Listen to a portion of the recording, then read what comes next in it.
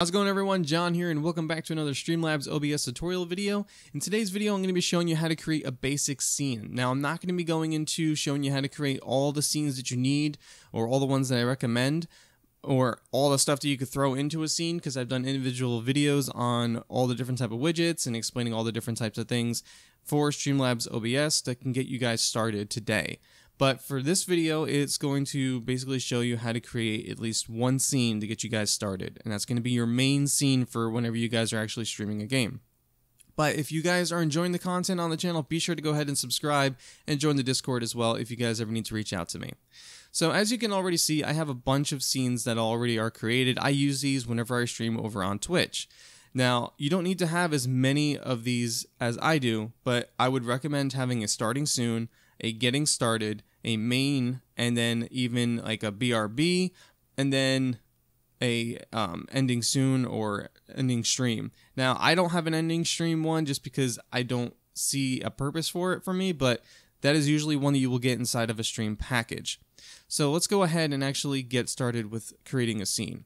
So the way I always describe scenes and sources is very similar to PowerPoint presentations. Your scene, which is this section over here, this is going to be your PowerPoint slides. This, the sources, this is your information that you're wanting to display on that PowerPoint. So to create your scene, click on the plus, give it a name, click done. Now, the transition that you just saw right there, that is a transition that I've added in on my own. You don't have to worry about that right now. That is something that is going to be later on that I'll talk about. But for right now, go ahead and create your scene. And now we're going to go ahead and add the sources. So this right now is a blank canvas. This right here is your canvas. So we're going to click on the plus, and now you have all of these. You have your standard, you have your widgets. So the basic thing that you're going to want to have is going to be an overlay and you can you can actually install an overlay by using the themes on Streamlabs OBS. I had created a video on that, so make sure you guys go ahead and check that out. And once you have that installed, you'll be good to go. So we'll go ahead and we'll just do a basic overlay right now. So as you can see, once you started adding in sources, they're going to automatically stay here. So you guys can kind of see that I have different stuff already set up right? So I have like my BRB, I have stuff for hype and all these type of things like my Pokemon overlay, Facebook, main, and stuff like that. So what I'm going to do here is I'm going to use the, um, where did I put you? I'm going to use this right here. So this is going to be my IRL overlay. So now it's a little too big, so that's fine. We can fix that. If you right click on it, and if you go down to transform, you're going to go to fit to screen. Bam. Now it fits the screen, it's locked in, you're good to go. Now to make sure you don't grab it, you're going to want to click on this little lock here and just lock it. So now I can't grab anything, I can't move anything around. Now that we have this overlay, and yes, I had created this, this is something I did in Photoshop on my own. So this is not something you guys are going to find anywhere else. Now, what we want to do is we want to fill in the different stuff, right? So you could do two things. One, if you don't want to use a webcam and you just want to have this as your main type of screen for whenever people are watching you play a game, you can make this box here your game screen. Or if you are using a webcam, you can put your webcam here. So I'm going to show you the webcam instance just because I don't have any games up and running at this point in the time of the video. So we're going to click on the plus again. And then what we're going to do is we're going to be looking for the video capture device. Now this allows you to use webcams and capture cards. So as you can see, I'm in the preview window, and then I also have my Elgato. My Elgato doesn't have anything playing, so it's going to be a blank box, so we're not going to use that. We will use this, so I double clicked and it brought it in. Now it's still too big, as you guys can see, this is just way too big. The thing that's really cool about the whole thing is these are like a layer system. So you can left click, hold, drag down, and now it's underneath. So now if I needed to kind of move things around, I could. If I want to keep it a little bit outside the box like that, that's fine. Lock it in place, and now it's behind it. Everything is good to go, and you're all set. So now maybe you want to add in all this extra stuff, like a live chat. So live chat, we could do that too. Let, we'll click on the little plus. We'll be looking for the chat chat box. There it is. So I already have a chat box already set up. Click the add source. And let me highlight that again. All right, so as you can see, it's a little bit too big. So what we can do here is we right click, we go to properties, and you can adjust the width and the height. So the width, we'll leave that there. I think we'll set this guy to, let's say 750 for the height. So we'll click done. And just for purposes like that, we'll just leave it like this. And then we'll lock it in place. And then these guys, these are all stream labels.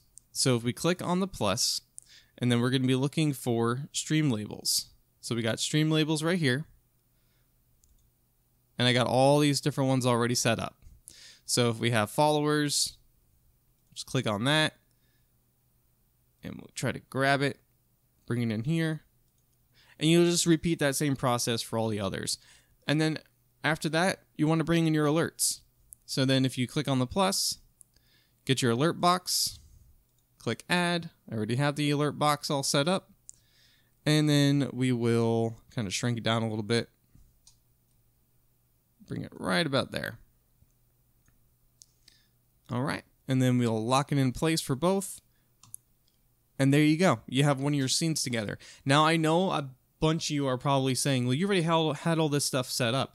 How do I get it set up? It's very, very simple. So let me go ahead and delete all this. And I'll show you. I just wanted to give you guys a very quick overview on how to actually just kind of throw things together. All right, so now we're back to a blank canvas. So click on here. We're going to go ahead and we're going to bring the image back. Now you're going to click on this add new source instead, give it a name, find your source that you want. That is how you will go and search for it for your for your overlay. Now, if you wanted to bring in your alert box, alert box will be automatic. Once you click on add new source, you do add new source, and then it will bring up this for you. So you'll be able to choose if you want raids to be included, bits, donations, merch, subs, yada, yada, yada. I've gone through all of this, like how to set all this up, and then you just bring it in. And you just follow that same step for everything else.